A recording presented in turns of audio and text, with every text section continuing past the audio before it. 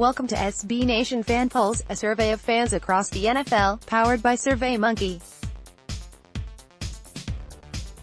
Each week, we send 32 polls to 100 plugged-in fans from each team.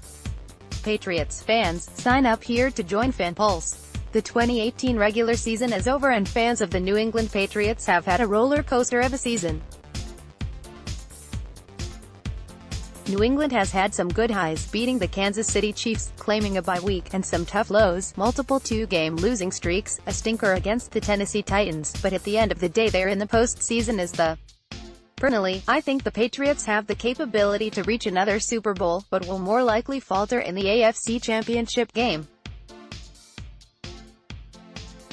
This year reminds me a bit of the 2006, 2009, and 2012 seasons with all the offensive turnover and the inevitable reshuffling of talent just around the corner. The future of the Patriots is far from bleak, but there are definite cause for concerns as key players continue to age. Tom Brady, Julian Edelman, Devin McCourty, Patrick Chung or show apparent decline. Rob Gronkowski, Dont'a Hightower, Marcus Cannon.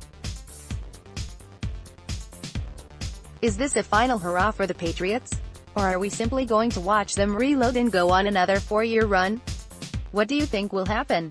As for the rest of the FanPulse survey, we asked about some of the bigger awards for the 2018 season.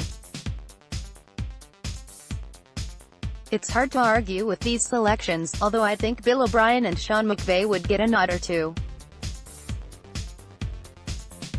While Matt Nagy has done a great job with the Chicago Bears, I think that the Indianapolis Colts and Frank Reich did a lot with much less talent.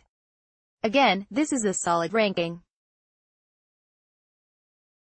Rams defensive tackle Aaron Donald was the only unanimous All-Pro this year, while Khalil Mack transformed the Bears' defense into one of the best in the league.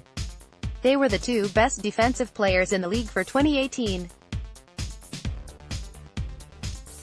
Chiefs quarterback Patrick Mahomes earned an overwhelming amount of support, while Saints quarterback Drew Brees came in second.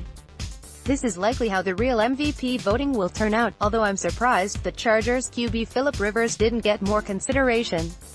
What do you think?